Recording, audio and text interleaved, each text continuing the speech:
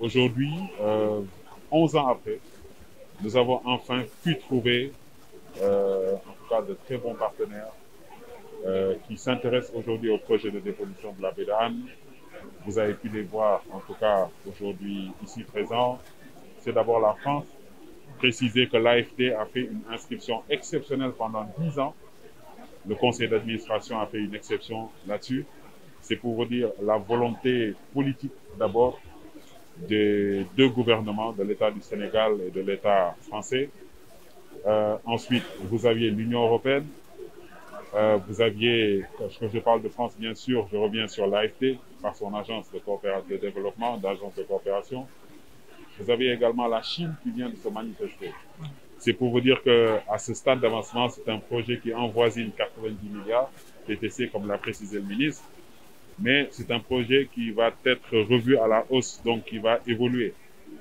Et euh, aujourd'hui, ce que je voudrais dire aux associations, aux populations riveraines de la baie, c'est de rester mobilisés, de rester vigilants.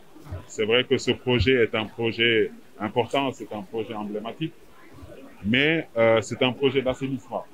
Et pour nous qui habitons, euh, en tout cas, le littoral, nous savions pertinemment qu'il faut qu'on aille maintenant à un autre niveau, à une autre phase du projet, c'est-à-dire le traitement des déchets solides.